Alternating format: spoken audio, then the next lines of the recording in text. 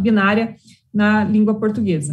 É, da fundamentação, quando nós fomos verificar a é, identidade ou semelhança com proposições que já estão tramitando nessa casa, nós verificamos que existe um projeto muito parecido é, no que tange ao uh, tratar especificamente do mesmo assunto, que é o projeto 05180 de 2021, de iniciativa do vereador Noriceto. Está em tramitação, e o projeto do vereador Noriceto, ele traz também é, em seu conteúdo, em seu objetivo, a, é, o incentivo para o uso culto da língua portuguesa, que é basicamente a mesma coisa que o vereador Éder Borges faz nesse projeto que está tramitando, que nós estamos apreciando aqui hoje.